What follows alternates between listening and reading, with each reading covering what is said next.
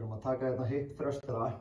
með tegju nema við erum að, við þurfum að stilla fætuna þannig að það fyrir alltaf eftir styrkleika tegunar. Ég vill ná að pressa hnýðin út þannig að hnýðin séu komin öllítið út fyrir það sem við stöndum sem fer ég aðeins tilbaka og ég fer í efri stöðu, spenni rassin vel þar og spenni út líka hérna. Þegar ég spenni upp þá er ég að snúa mjöðmónum aðeins undir mig þannig að ég sé ekki með yfirfettu á bakinu en allavega þannig að ég er að fara hérna niður, ég pressa út ég kemur hérna upp og pressa. Við, það er ágætt að lifta bara höfðinu með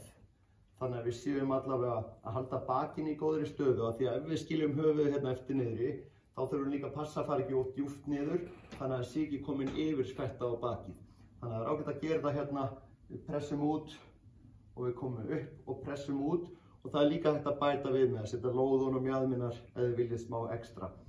Þetta er mjög góð æfing fyrir rassinn, sérstaklega glútmet, vekja hann vel